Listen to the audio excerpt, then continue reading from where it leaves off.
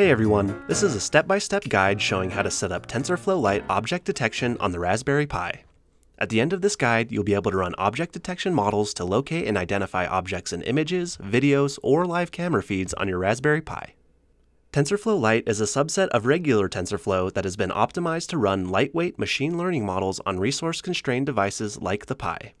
TensorFlow Lite models have a faster inference time and require less processing power, so they run at higher speeds than regular models. This video follows my written GitHub guide for setting up TensorFlow Lite, which is linked in the video description below. The setup process will work for both the Raspberry Pi 3 and the Raspberry Pi 4 running either Raspbian Stretch or Raspbian Buster. If you get any errors while following this video, check the appendix in my GitHub guide where I'll list common errors and their solutions. You can also try Googling the error, asking about it in the comments section of this video, or tweeting me at EdjeElectronics on Twitter. I usually respond fastest on Twitter. Alright, let's get started with setting up TensorFlow Lite. The first step is to update the Raspberry Pi. Open a terminal and issue sudo apt-get update.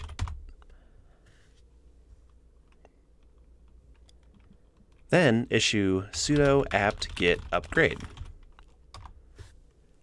I just updated my Pi, so there's no updates to download. Depending on how long it's been since you've updated your Pi, this command could take anywhere between a minute and an hour. If you're using a Pi camera, make sure the camera interface is enabled by going to the Raspberry Pi Configurations menu, clicking on the Interfaces tab, and verifying that the Enable button is checked. If it isn't, enable it now and then reboot your Pi. Next, we'll download the full GitHub repository for this guide, which contains the Python code we'll use to run TensorFlow Lite and a shell script that will make installing everything easier. To download the repository, type git clone https github.com slash edje electronics slash tensorflow dash lite object detection on Android and Raspberry Pi.git. I promise this will be the only long command we have to type out. Once it's typed out, hit enter to clone the repository. This downloads everything into a folder called TensorFlow Lite Object Detection on Android and Raspberry Pi. That's a little long to work with, so we'll rename the folder to tflite1 by typing mv tensorflow, then press tab to complete the path to the file, then space tflite1. Then cd into it using cd tflite1. We'll work in this folder for the rest of the guide. Next, we need to create a virtual environment to hold the TensorFlow Lite packages in. Using a virtual environment will allow us to avoid version conflicts with previously installed versions of TensorFlow or other libraries. Install virtual env by issuing sudo pip3 install virtual env.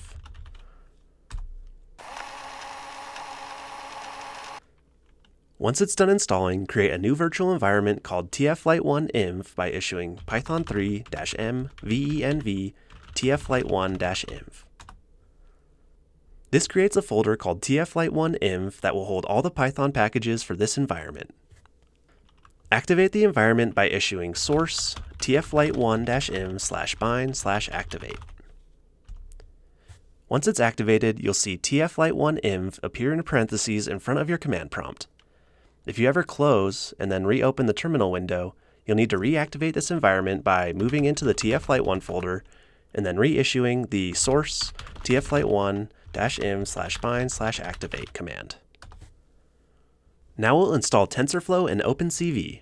To make things easier, I wrote a shell script that will automatically download and install all the packages and dependencies. Run the shell script by issuing bash get pi requirements.sh. This downloads about 400 megabytes worth of installation files, so it'll take a while. Go take a break or grab a drink while it's downloading.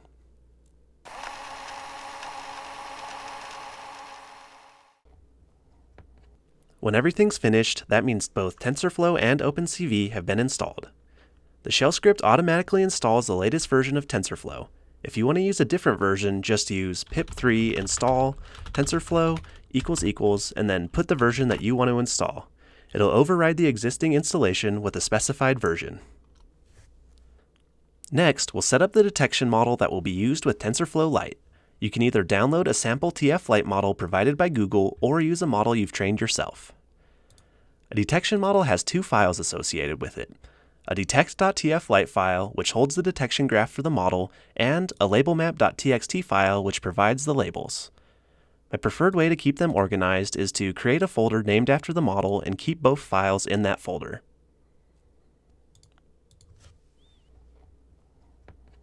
Google's sample model is a quantized SSD MobileNet model that's trained from the MS COCO dataset and converted to run on TensorFlow Lite. The sample model can detect and identify up to 80 common objects. The quantized part means it uses 8-bit integer values rather than 32-bit floating point values in the neural network. This allows it to run faster by reducing the memory latency and taking advantage of optimizations inside the CPU. Using a quantized model speeds up detection while having only a minimal drop in accuracy. You can find a link to the model on the TF-Lite Object Detection Overview page, which is linked in the video description below. Open the page, right-click Download Starter Model and Labels, and copy the link address. Then, go back to your terminal, type wget, and paste the link address, then press Enter. This will download the model directly to the TF-Lite 1 folder.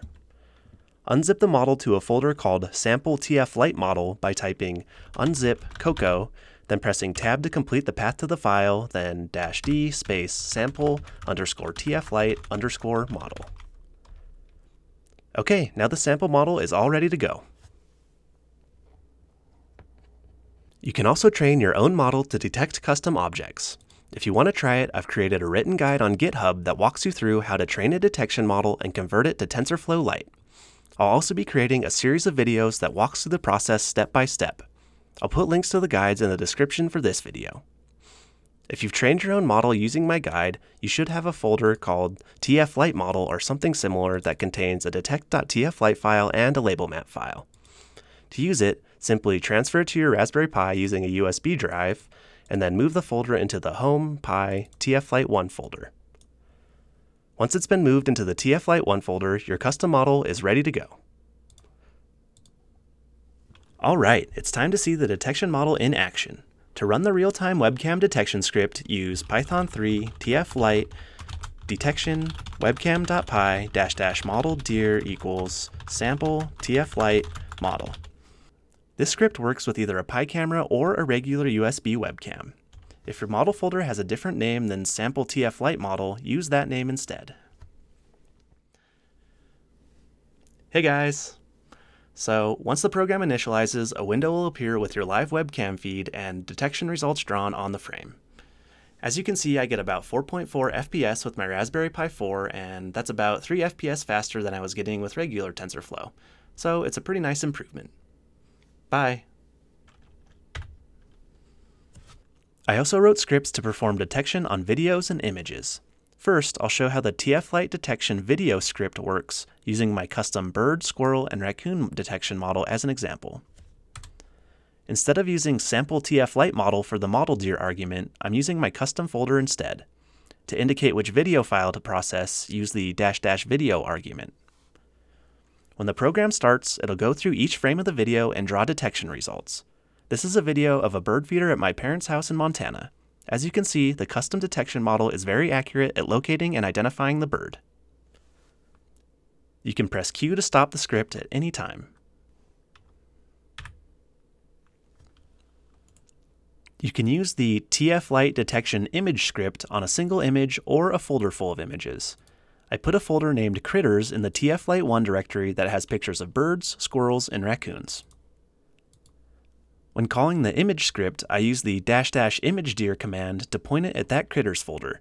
You can also just use dash dash image to specify a single image. The program will perform detection on the images one at a time. Press any key to move on to the next image, or press Q to quit.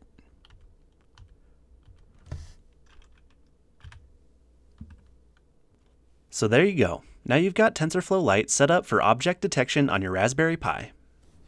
In my next video, I'll show you how you can get a huge boost in detection speed by using Google's Coral USB Accelerator. With the accelerator, I get up to 5 times faster frame rates when running real-time object detection. The next video will show step-by-step -step how to set it up and give a brief explanation of how it works. The improved speed of TensorFlow Lite makes it more useful for real-time detection applications like smart cameras or alarm systems. If you want to see a fun example for using TensorFlow on the Pi, check out my pet detector video where I use object detection to alert me if my cat wants to be let outside. I'll also be posting more videos of TensorFlow computer vision projects, so stay tuned. I hope this video helps you get started on your own projects with the Raspberry Pi. Stay tuned for my next video on setting up the Coral USB accelerator. Thanks for watching, and good luck with your projects.